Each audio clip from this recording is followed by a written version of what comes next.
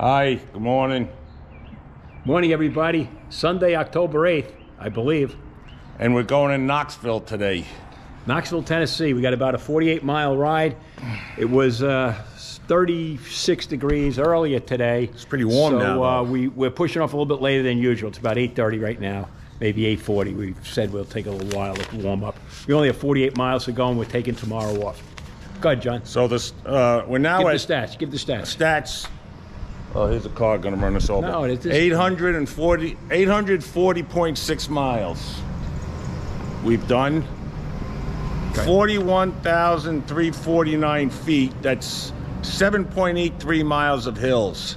I had that number wrong two days ago, but 7.83. And we're averaging 48.9 a day.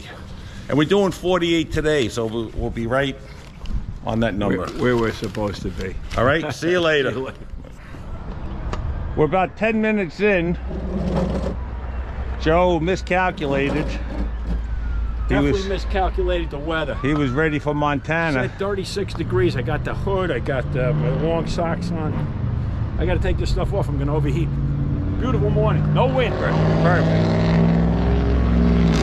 You got to be a little chilly when you start because you warm up. So you don't want to be toasty warm as you're leaving. That's my philosophy. You know what else? Instead of that cool white shirt, I put like a, uh, a uh, an Under Armour uh, polypropylene shirt on. So that's that's much warmer also. This guy's got three layers on. Yeah. Yeah.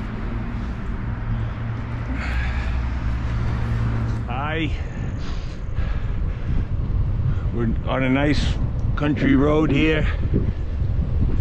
It's perfect weather.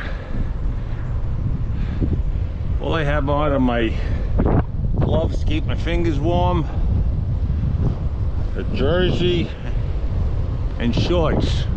It's about 44 degrees.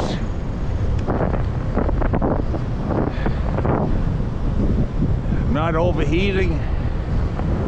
There's some corn there on the left. Hasn't been picked yet.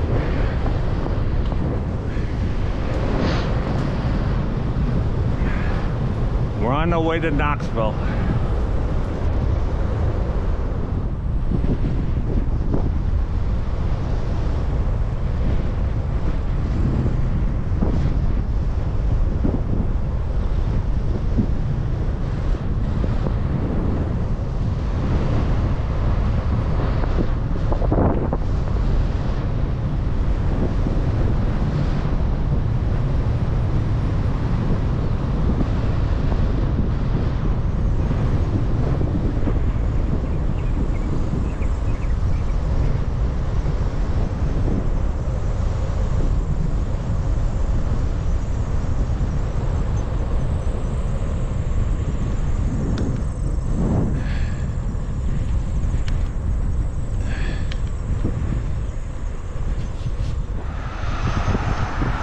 Like a very industrial part of Knoxville.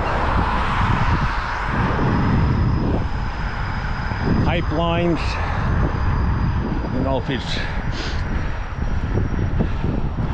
natural gas, fuel,